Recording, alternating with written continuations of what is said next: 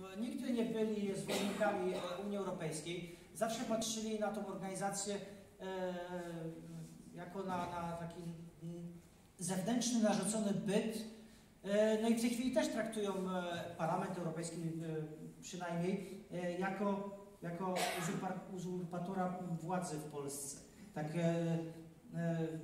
o dziwo, Polska wysyła swoich reprezentantów do Parlamentu Europejskiego, mamy ich 51, ale tym, co słychać właśnie ze, strony rządzącej, wydaje się, że oni traktują to jako, jako nie ich.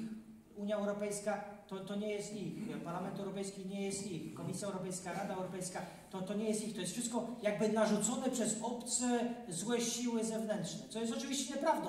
My wszyscy, jak tu siedzimy, zdecydowaliśmy, że chcemy być członkiem tej wspaniałej organizacji, jakim jest Unia Europejska i my powiedzieliśmy tak, chcemy budować Polskę na, na tych fundamencie wspólnoty europejskiej.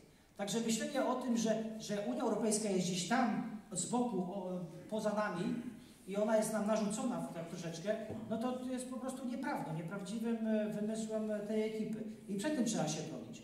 Czy się uda PiSowi wyprowadzić Polskę z e, Unii Europejskiej? Możliwe. Możliwe. Na podstawie tego, co, co się dzieje w tej chwili, tak? Na podstawie już permanentnego konfliktu z Komisją Europejską, e, na podstawie no, straconych środków, które już w tej chwili stają się powoli faktem w kolejnej perspektywie finansowej, to też będzie argument tej ekipy, powiedzą, widzicie w Unii Europejskiej, że nas traktują, zabierają nam nasze pieniądze.